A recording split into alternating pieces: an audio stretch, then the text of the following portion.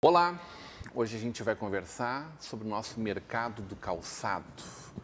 Como foi 2018, como será 2019, qual a expectativa para os próximos momentos, os movimentos que as nossas empresas, o nosso comércio, sobretudo os nossos governos fazem aqui e mundo afora.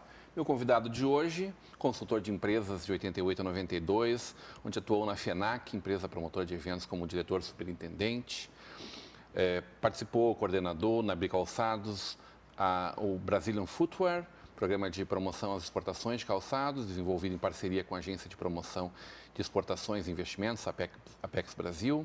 Em 1992, exerceu o cargo de diretor executivo até 2013, onde passou para o cargo de presidente executivo da Bicalçados, em que está até hoje. Hoje teremos uma conversa de peso com Heitor Klein. Seja muito bem-vindo, seu Heitor, para essa conversa de peso. Um grande prazer para mim, muito obrigado. Seu Heitor, a gente está sem saber muito bem o que vai acontecer nos próximos passos.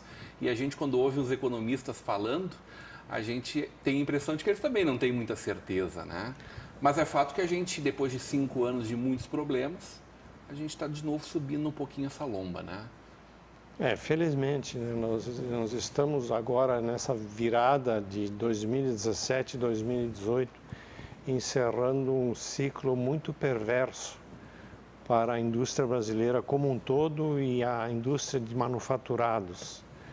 E especialmente dentro dos manufaturados, aquela que tem um emprego massivo de mão de obra, uma, uma, uma dificuldade muito grande e uma queda muito acentuada no nível de emprego, no nível de atividade das empresas como um todo. É, essas circunstâncias fizeram, como é o caso do setor calçadista, que o número de pessoas empregadas caísse drasticamente. Só no setor de calçados foram 55 mil pessoas que perderam o seu trabalho. Isso representa, de forma direta, isso representa um universo de talvez 120, 130 mil pessoas que são dependentes desse, desse emprego. Mas o fato é de que eh, há uma série de circunstâncias se alinhando e nós podemos talvez considerar isso como passado. E certamente no ano de 2018 nós iniciaremos uma reversão desse quadro eh, de forma gradual, evidentemente, eh, lenta, mais segura e que talvez em mais duas ou três temporadas a gente recupere a posição anterior. Isso não é algo que há de ser considerado, comemorado efusivamente, mas é por enquanto esse indicativo. Nós Sim. temos ainda dezenas de milhares de empregos que se extinguiram, postos que talvez não se recupere, mas ainda é uma das indústrias que mais empregam no nosso país, né? Sim de fato, o setor calçadista tem, um, tem esse destaque né, e é reconhecido por todos, tem uma presença bastante dispersa até pelo país todo. São 14 estados da federação que têm no setor calçadista uma atividade econômica preponderante, né, desde o Rio Grande do Sul até o Ceará. E isso faz com que eh, essa indústria eh, a produtora de calçados tem um papel relevante na economia e, portanto, seja estratégico para a economia nacional, especialmente se nós considerarmos o fato de que ela é genuinamente brasileira, em primeiro lugar, e ela é parte de uma cadeia produtiva completa e integrada. É, se destaca aqui, é conhecimento de todos, de que para produzir calçados e artefatos de couro no Brasil não é necessário importar nada de outras partes. Né? Ela é autossuficiente desde a ponta do, da tecnologia, as máquinas envolvidas, os serviços especializados, até a construção final do produto. Continuamos com uma posição de destaque no mundo, né? A gente, a gente lamenta muito o que a gente viveu aqui no nosso vale, lá nos anos 70, 80, sobretudo. Né? Os anos 90 foram de números muito robustos ainda. Mas é fato que a China é avassaladora, foi avassaladora naquele momento. Uh, Vietnã hoje emprega uma quantidade enorme de profissionais trabalhando nessa área, outros países asiáticos. Talvez a gente ainda vá viver essa migração uh, para a África, né? Uh, dessa busca de mão de obra também mais barata. Que espaço é esse que nós hoje conseguimos ocupar? Bom, nós somos o quarto maior produtor de calçados do planeta. Ainda até antes disso tudo começar, lá pelo ano de 2010, 2012, nós estávamos na terceira posição, mas fomos superados pelo Vietnã. Em pequena monta, mas fomos superados. Agora, nem tudo são perdas, isso, o registro desses anos todos. Nós tivemos alguns ganhos. E eu gosto de citar dois em particular. Primeiro, a maturidade das empresas. Né? Embora tenhamos recuado muito no nível de atividade do setor como um todo e tenhamos perdido esses mais de 50 mil postos de trabalho em função das, dessa circunstância de queda de, de demanda e de vendas, nós ainda mantivemos o parque fabril instalado e sadio. Não são muitas as empresas de porte, vamos dizer assim, médio e até e principalmente as de grande porte que encerraram as suas atividades. Houve uma redução linear de todas as empresas que tiveram que fechar algumas plantas de produção e dispensaram um número de, de funcionários, mas as empresas se mantiveram administrando a situação para se manter ativas e num momento de retomada, voltar a crescer. Esse é o primeiro aspecto. O segundo aspecto é que nós tivemos um ganho de qualidade muito forte no mercado internacional. Até o ano de 2000 2005, 2006, o Brasil se mantinha sempre num patamar de menos de 100 países que compravam calçado brasileiro. Agora, é, no último ano de 2018, foram exatos 166 países que nos honraram é, de uma maneira continuada comprando calçado do Brasil. Então. Isso é maturidade que o senhor falava. Isso é o ganho que nós tivemos nesse período, porque mesmo tendo a baixa, nós investimos, as empresas continuaram agredindo o mercado internacional na busca de uma colocação do seu produto e de suas marcas nesse mercado. E isso faz com que a gente agora, vislumbrando a possibilidade de uma melhoria na competitividade do nosso produto, uma melhor capacidade de formação de preços mais competitivos nesse mercado, a gente volte a crescer até de uma, de uma forma mais acelerada nesses 160 e tantos países que estão nos honrando. A gente vende, então, menos par de calçado, mas agrega mais valor. A Exatamente. Par. E o mercado ele vai se abrindo à medida que esse, isso vai se tornando conhecido. Mas qual é o tamanho desse potencial? Ele nos permite pensar na recuperação de postos de trabalho, no crescimento dessas indústrias?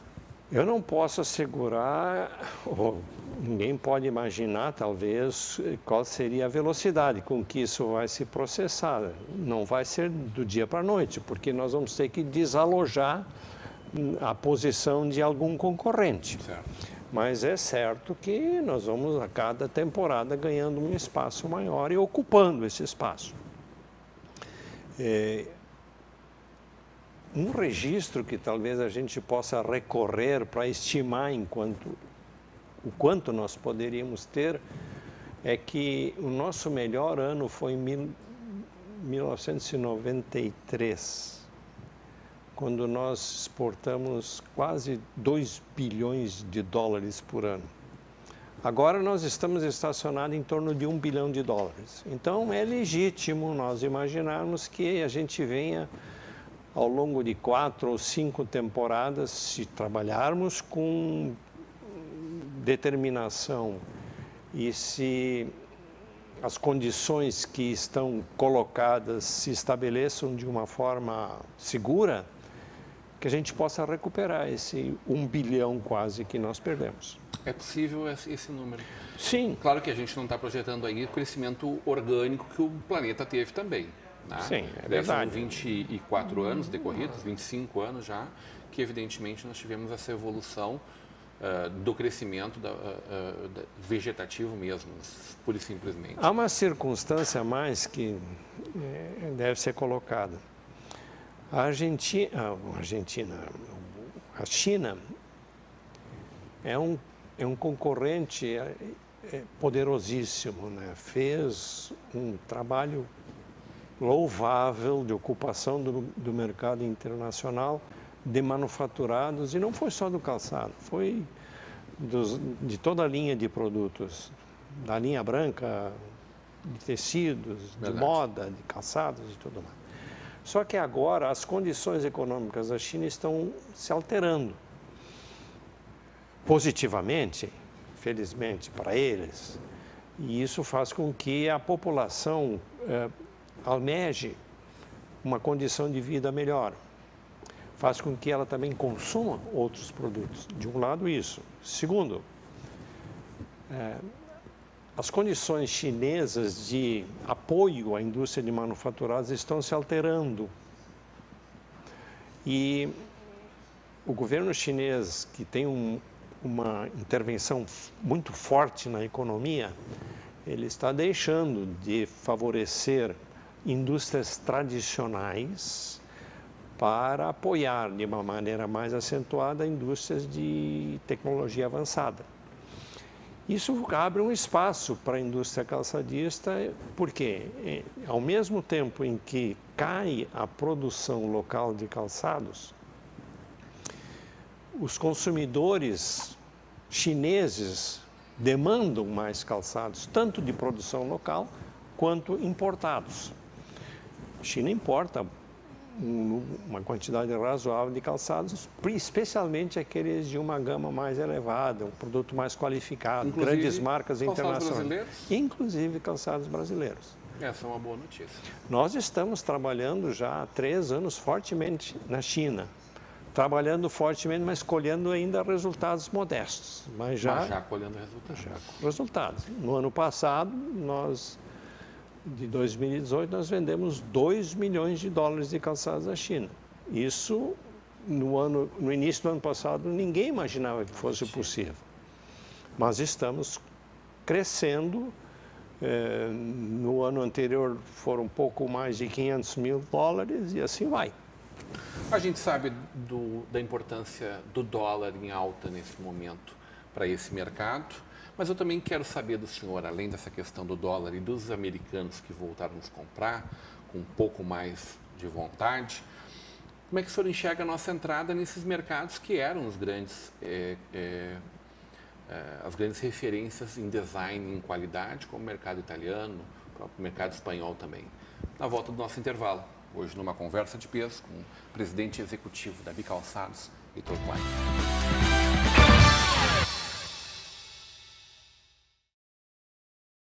De volta para uma conversa de peso, hoje recebendo o presidente executivo da Bicalçados, senhor Heitor Klein.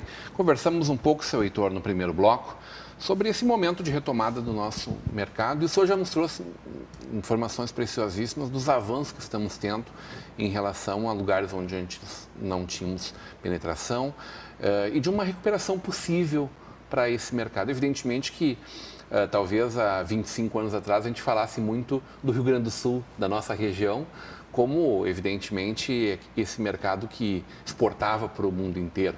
Hoje, o Brasil inteiro, né? Você falou em 16 polos, é isso? 16 de produção, de produção 14. 14 polos de produção espalhados no Nordeste, no Centro-Oeste, no Sudeste, sobretudo, e, e, também em Santa Catarina, né? São João Batista, né? Uh, isso eu me falava antes da gente começar o programa, desse avanço dos americanos. Ainda não por conta de uma, de uma medida do nosso novo presidente, mas por conta de algumas medidas do presidente deles. Isso já gera um novo ânimo a partir do momento que o nosso dólar em alta também oferece uma vantagem competitiva para o nosso uh, produtor, para o nosso fabricante e também para quem está comprando lá. Esse número já é considerável? Já foi bom em 2018? Vai Não. ser melhor ainda em 2019? Eu acredito que ele vai crescer gradualmente. Né? Nós não sentimos ainda uma reação é, espetacular, vamos chamar assim, mas isso é um movimento muito recente. E, e é causado pela, pelo atrito que existe entre a China e os Estados Unidos e as ameaças do presidente Trump de impor medidas adicionais à importação de produtos chineses.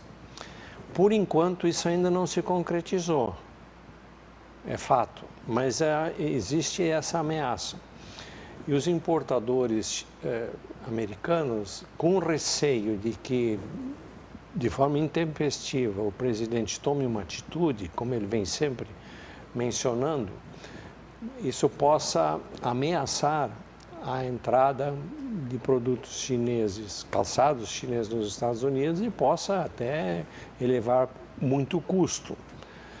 Então, é, o que nós estamos observando é uma, um interesse e um retorno de várias empresas que eram importadoras tradicionais do calçado brasileiro anos atrás e de novos entrantes, de novos importadores que nós, por exemplo, recebemos duas mega empresas eh, de distribuição nos Estados Unidos, agora recentemente na feira de São Paulo, a Coromoda.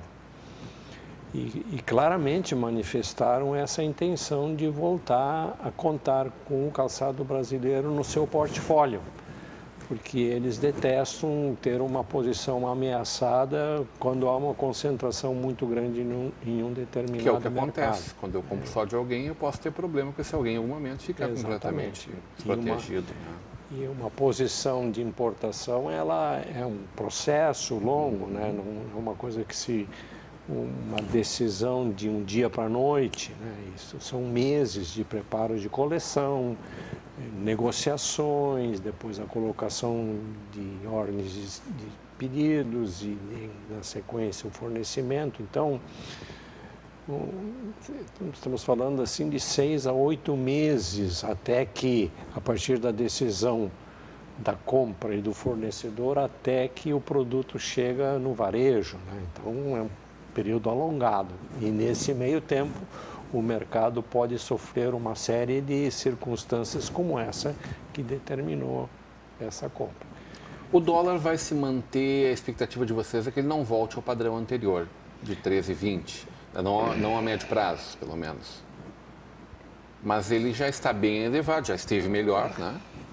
O é. que, que, que vai acontecer ao longo desse ano na expectativa da Bicalçados? É um pouco difícil, né? Porque nesse aspecto existe ainda um contraditório, né? Entre os especialistas, né? Mas ele deverá, segundo as informações que nós temos, estar numa faixa de 3,40 a 3,60, 3,70. 3,40. Se fechar 360. o ano a 13,50 o, o empresário está feliz da vida? Eu acredito que isso é, na maioria das empresas, um valor satisfatório e que permite a, a formação de preços competitivos. Como está a chegada do nosso calçado na Europa? O calçado infantil e esse calçado de valor agregado que o senhor falava antes? Bem, é, nós temos alguns países dentro do programa que nós desenvolvemos da entidade que são uh, tradicionais compradores de calçados brasileiros, né? E na Europa Central, França e o Reino Unido são os destaques. Né? Evidentemente, Espanha e Portugal, além da Itália, não estão nesse, uhum. nesse quadrante. Né? E a Alemanha tem suas particularidades de produto que nós ainda não não tivemos uma condição de suprimento adequado. São características próprias e específicas do consumidor alemão que a oferta brasileira ainda não ajustou. Existem sim empresas brasileiras, aqui principalmente da nossa região, que tem uma afinidade cultural maior com a Alemanha. Então isso é explorado que, hoje. Que já, que já estão presentes há muitos anos no mercado Uhum. alemão e têm sucesso lá. Mas isso não é uma política de setor como um todo. né? A política de setor que nós falamos, a indústria brasileira está presente aonde? No- com- de forma notável na Europa Central, em França e Reino Unido. O senhor consegue enxergar a retomada do consumo local? Eu acho que essa é uma grande expectativa, dado a números que a gente viveu, eh, sei lá, nos últimos 20 anos, que não chegou a suprir exatamente a falta do mercado externo, né? a falta mais robusta desse mercado, mas que deu uma sobrevida boa a marcas consagradas e a novos negócios também. Né? Eh, como é que foi para o setor esse finalzinho de ano e esse Natal, especialmente, né? Eh, e o que, que o senhor viu do movimento nas primeiras feiras do ano?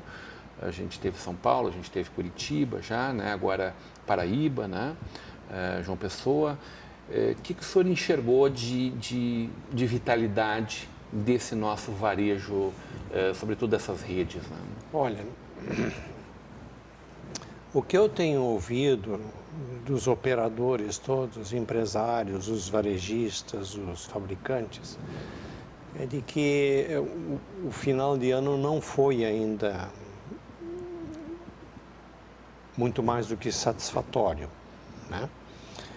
E o movimento dos compradores nas feiras agora, ele também sofre com esse resultado que não foi tão auspicioso.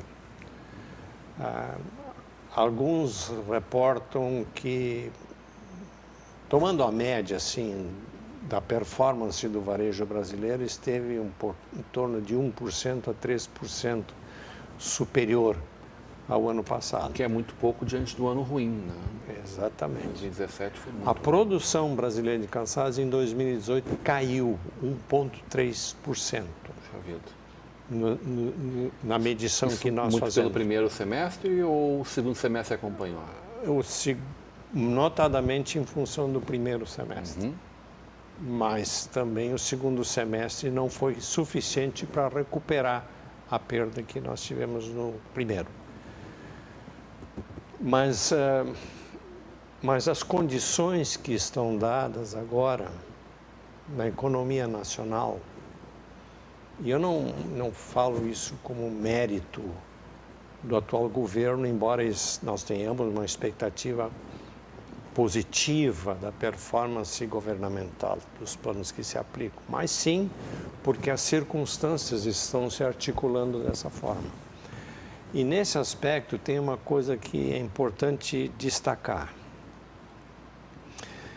É, os planos do governo federal, da equipe econômica, são de uma abertura comercial do Brasil. O Brasil tem uma se comparado com outras economias do mesmo porte e, e de condições similares, uma prática protecionista razoável. Que é o que ainda salva mais ou menos a nossa indústria nacional, né? Sim. Tira isso- a competitividade da inovação, talvez, por um lado, né? Mas, Pois é. Resguarda, Esse é o né? contraditório. pois é. Existe uma corrente bastante forte da indústria que defende esse protecionismo. E existem outras correntes que, que defendem uma abertura que seja gradual e compensatória, vamos chamar assim. Me explico. Com essa, com essa proteção elevada no mercado brasileiro, ela existe de forma a compensar o custo Brasil, que é muito forte também, comparado com as mesmas economias com quem a gente compara a nossa proteção. Então, existe uma proteção porque os tributos são elevados, a carga trabalhista decorrente do emprego é muito elevada, a logística nacional é péssima, e, finalmente, há todo um emaranhado de regulamentos, normas e leis que trazem muito ônus para a atividade produtiva. Então, com esse peso, né, a, de outro lado, a proteção que o imposto de importação é, produz compensa uma coisa com a outra. Certo. Só que, quando nós miramos para o mercado internacional, a compensação que existiria pelo custo Brasil que tem seria o câmbio. Uhum. Mas o câmbio no Brasil vai deixar de produzir esse efeito compensador porque nos próximos meses vai haver essa vai se conformar valorização que nós falamos há pouquinho pela entrada de investimentos estrangeiros e tudo mais. Então, se nós examinarmos de um lado de que vai deixar de existir a proteção, mas por outro lado nós vamos deixar de ter o custo Brasil onerando a produção, nós teremos condições de competir por esse fato com o produto importado no mercado brasileiro, de, de igual para igual. E restará então a vantagem de que no mercado internacional nós ganharemos competitividade e poderemos competir com mais segurança e com mais certeza naquele, naqueles mercados. Então, é, reiteradamente a equipe econômica tem feito a declaração de que a abertura se dará de forma que o Brasil venha a ocupar um espaço destacado no comércio internacional e ela será feita de forma gradativa, isso é, lenta e proporcional simultaneamente à redução do custo Brasil nós vamos estar vigilantes para que isso de fato ocorra. E quando eu digo nós, são todas as cadeias produtivas brasileiras, de todos os produtos. A Confederação Nacional da Indústria, as federações das indústrias dos estados e as associações como a Bicalçados, a ABIT, a Brinc, tudo mais, nós estamos continuadamente reunidos de forma a estabelecer sempre um contraponto e uma alerta em constante diálogo com o governo federal no sentido de que essas condições sejam estabelecidas dessa forma. Se isso acontecer dessa forma, nós teremos ganhos extraordinários. E esse receio que pode estar presente em algumas partes da indústria nacional, então será, é, felizmente, não se concretizará. Espero que a gente possa viver isso no momento imediato, né? Acho que todos nós ansiamos por um mudanças avanço. drásticas no nosso rumo, no nosso país. Grande prazer conversar com o senhor. Seja sempre muito bem-vindo à nossa Vale TV, seu Heitor. Agradeço muito a oportunidade. Hoje, numa conversa de peso com o presidente executivo da Bicalçado, seu Heitor Klein. Continue agora com a programação da nossa Vale TV e da nossa rede comunidade de televisão.